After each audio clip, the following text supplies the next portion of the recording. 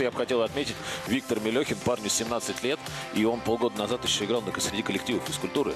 Окунуться сразу, попасть против команды участника Лиги Чемпионов, посмотрим, что из этого Но выйдет. мы-то зато такие истории очень любим. Это же здорово. Хороший пример для всех Для- начинающих во-первых, для футболистов. всех футболистов Что нет ничего да. невозможного. Да. Второй, посмотрим, как он будет смотреться на фоне футболистов сборной страны и тех же бразильцев.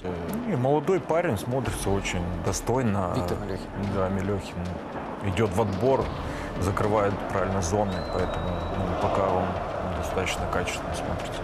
Хотел Молодец, пацан. Нет, молодец. Э, Виктор, э, насколько трудно приходится все-таки второй матч в стартовом составе чемпионате и против «Зенита»? Насколько серьезная нагрузка на вас в эти минуты выпадает?